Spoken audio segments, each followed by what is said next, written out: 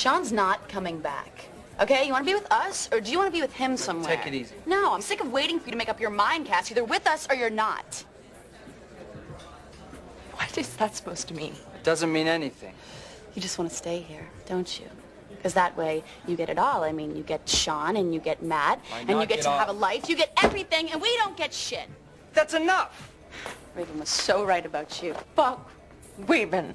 Did that. Stop it. Look, Annabelle, look, I know you're angry at me about, about Matt and about Sean. Please. Those people from the club are dangerous. Those people? No, one of them tried to kill me.